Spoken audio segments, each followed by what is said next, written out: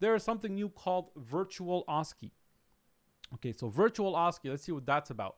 So in March 2023, uh, the NDEB will administer the virtual OSCE. So basically, you guys probably know you don't you know you do AFK, you do ACJ, you do NDECC now called right, uh, or you do Uni. After that, you have to do your certification exam or board exams, right? Board exams or cert exams. The cert exams right now are two examinations. They are uh, the written board exam, written board exam, and OSCE. And I tell people just to make it easy is that written is similar to AFK, right? And OSCE is similar to ACJ, but with some new templates in it. So, what is the virtual OSCE that's coming up in 2023? Okay, so they're going to start this March 2023. See right here. Let me zoom in here in case you guys can't see it. So, March 2023, they're going to start this concept. So, the virtual OSCE is making all of the, all this certification stuff one exam. So, they're going to make it uh, all called now virtual OSCE. So, let me scroll down here a bit. Okay, so it's going to be called virtual OSCE. And virtual OSCE is going to have 200 questions.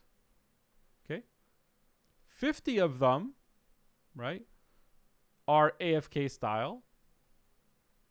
And 150 are case based style, which means OSCE ACJ style.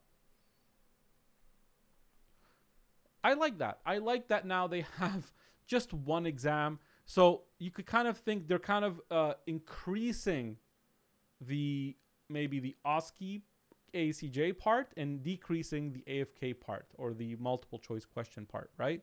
So if you see here, let's look at the um, lost my cursor. Okay.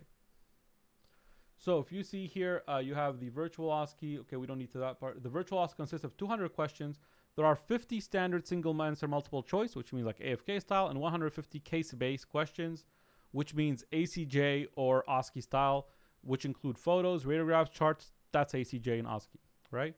Um, and supporting material. It will be administered in cities across Canada where there is a faculty of dentistry. Now, in fall, the virtual OSCE will be approved, so it's going to be approved.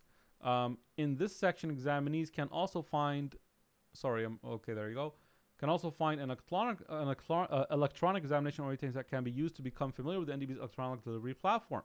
Meaning that maybe that means you're not going to need to look at models anymore, right? So you don't have to look at things physically to assess a restoration or anything like that. It's going to be virtual. It's going to be electronic. Okay? So closer to how an ACJ is delivered, right? So it means online courses now uh, like are are more than enough. We have an online course for OSCE. Um, so based on this, you know, the mocks will just be now instead of uh, 100 OSCE questions will be 200, and there'll be 150 OSCE style and 50 AFK style, right? So let's look at some of the Q&A. What is the fee? 2000 for OSCE exam, for virtual OSCE.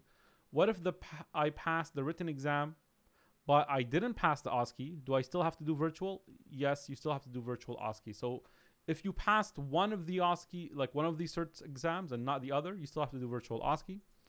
Um, how many times can a person take virtual OSCE? Still three times. If, if uh, what if I already taken the written exam and OSCE? Uh, do I still get three attempts at the virtual OSCE? No, a candidate who needs to repeat the written examination or OSCE will not have three attempts at virtual OSCE. So your attempts from previous, the previous uh, exams, uh, up to 2022 count as an attempt, even towards your virtual OSCE. Yeah, so good to know that. Uh, so if you failed one of those, then it counts. I do like the concept of combining them. You know, why have those two days? You already done AFK, ACJ, NDECC, and this is just kind of repeating those concepts a bit, right? Um, so yeah, doing it in one exam I think is a good thing.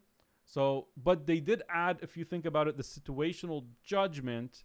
So now you have situational judgment skills so it's and then you have the virtual OSCE. So it kind of adds up to being kind of like five exams again.